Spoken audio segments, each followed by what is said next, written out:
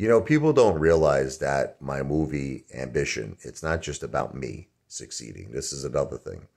It's about all of retail succeeding. It's about retail being faced with all of these crazy obstacles, you know, corruption, rigged stock market, you know, things that are out of our control. But what do we do from it? We get up. It's like Iron Mike, baby. Iron Mike Tyson. No matter how hard we get hit, we keep getting up, we keep moving forward, and we hit even harder. We hit harder than the corruption. And that's what this movie is about.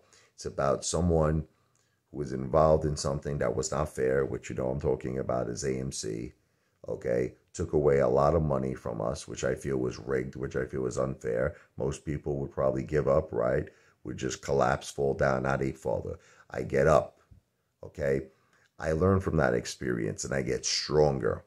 And I say it's time for me to be the boss of bosses. It's time for me to be in the driver's seat. It's time for me to own my own businesses. It's time for me to build my brand but it's also the story of a retail investor. That's who I am, who goes up against all of the corruption, the rigged market, all the odds, and wins. So I consider that a victory for all retail. That's why you can help me make this movie by helping me get to a trillion views. Just watch my other videos, man. And yes, I will be doing a lot of live streams today. Let's make ambition come true. Let's make the Ape Father brand come true. But most importantly, let's make retail win.